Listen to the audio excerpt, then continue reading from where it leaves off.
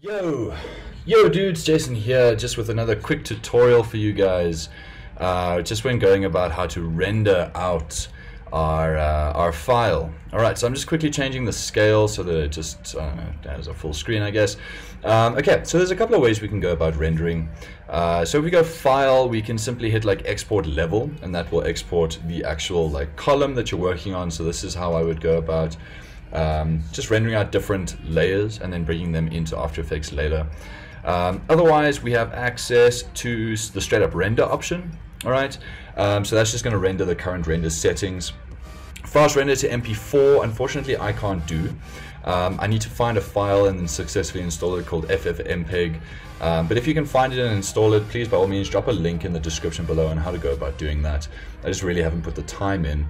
Um, but another way we can go about doing it is we could go to our output settings. All right. So here we would just go about changing anything that we might not need uh, or that we might need, right? So if we had multiple cameras, we would select here what we wanted um, to change. We could name that camera.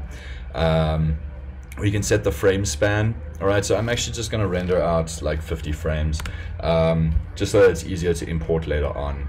All right. Um, we can also increase the steps if we need to. We can increase the file type, um, and we can change like our channel width uh, I'll leave it on 8-bit for now though. Um, I'm not 100% sure, but I do know that the, the channel width obviously uh, increases the, the depth of the color range. So I'm assuming um, setting it to 16 bits would increase the, the color information, but also the file size. All right, so I'm just gonna hit render. You'll see it, it rendered uh, in the background and it gives me this uh, flip book. All right, and this flip book allows me to sort of just run through and make sure that I've got everything that I want. All right, so that one's nice and simple. And then I can save it. Alright, and then uh, when I choose where I want to go about saving it, let me just move that out of the way. I'll just drop it on my desktop for now, and I get these weird errors, and I don't know why. So we'll just move across and ignore them as best we can. Uh, so I'm going to save it here. Uh, I do need to change the file name at the bottom, so I'll remove one of those points, and I'll just give it a number. Um, and I will then say save. Alright, so it's going to save those preview frames for me. Um, I can't close this window until it's done. And once it is done, you'll see then that I've now got my new folder 2 and here are my images. All right, so my tile sequence. Dope. Okay, so now when I dive into, uh, let me just quit you. Uh, when I dive into After Effects, all right, so you'll see that I've already imported um, a layer system, uh, just for a technique that I'm going to show you in a moment. Um, so I'm just going to create a folder for that, and I'm going to call that example 2, because uh, it's not really something that you would do intuitively, but I do want to just show you that there is an option to go about doing that. Alright, so that's now all in a folder. Okay, so to import now my image sequence, I'm just going to make sure that I grab it from the right one, because new folder 2's got fewer frames than the other. Uh, so I'm going to select all of these, alright, uh, just Command A or Control A. And I'm not going to worry about creating a composition, I mean, yeah, let's do that. Um, but I do need to uh, remember, excuse me, words are failing me today. I do need to remember to turn on TIFF sequence option.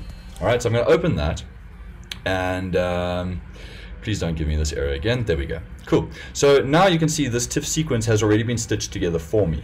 All right, so it's a single layer, right? Which is great because if assuming I've done all my animation and I don't need to do anything else, um, sorted, right? I don't need to worry. However, if for whatever reason I want to go about bringing in my images individually, all right, so every single frame brought in individually. Um, again, I'm just going to just, let's just grab like up to frame, uh, just up to frame 50 for now. So if I drag these down into my timeline composition area, you'll see now that each layer obviously expands the entire width of my workspace, and that doesn't help. I also then have every single one of these layers now listed in my timeline. Okay, so what I'm going to do is I'm just going to, because all my layers are already selected, I'm just going to click and drag their duration to be exactly one frame long. All right.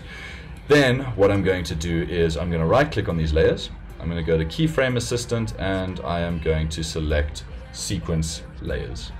All right, so I won't turn on overlap. I don't want them to overlap, especially if they're only one frame long. I'll just say OK, and you'll see now that it has automatically just stepped them out for me so that my animation will still run, um, but I'm not worried then about um, having to go and do these individually myself, which, as you can imagine, would be an absolute nightmare.